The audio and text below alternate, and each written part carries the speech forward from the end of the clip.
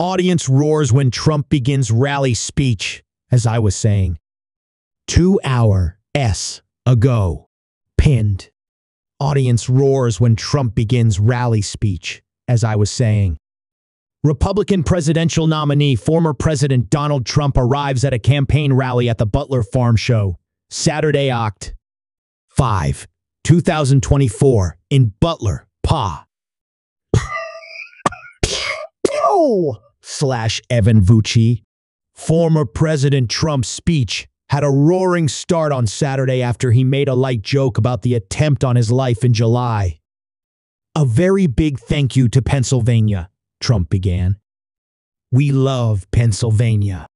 And as I was saying, he continued to loud cheers from the crowds.